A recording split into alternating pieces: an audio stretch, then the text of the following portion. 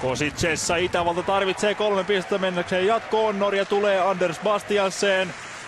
Kiepautus, katse taakse, toista alusta tulee Erkki Koivu, joka lataa Norjan johtoon.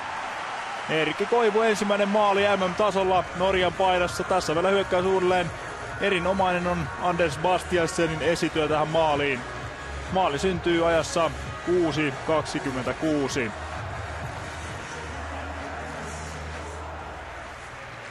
Ennen erän puolta väliä Norja hyökkää.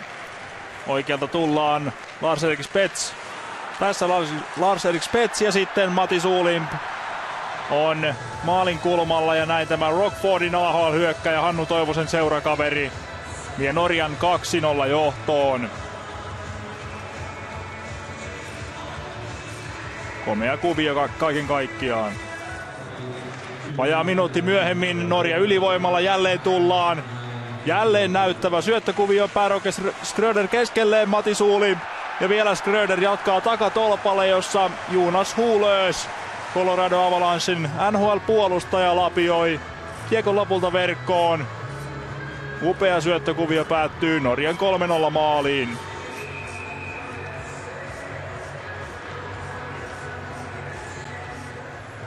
Aivan toisen erän lopulla Norilla ylivoimaa. Anders Bastiansen painii kulmassa jättää Matis Ulimpille.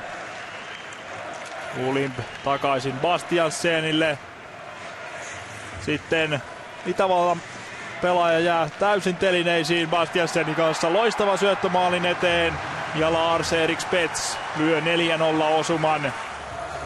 Ja siinä näette kuinka Roland Kaspic jää Bastiansenista paljon jälkeen ja puolustaja unohtaa Spetsin takatolpalle vapaaksi. Norja tekee selvää jälkeä Itävallasta Kosicessa. Nyt pelataan ylivoimaa. Kolmannen erän puolessa välissä.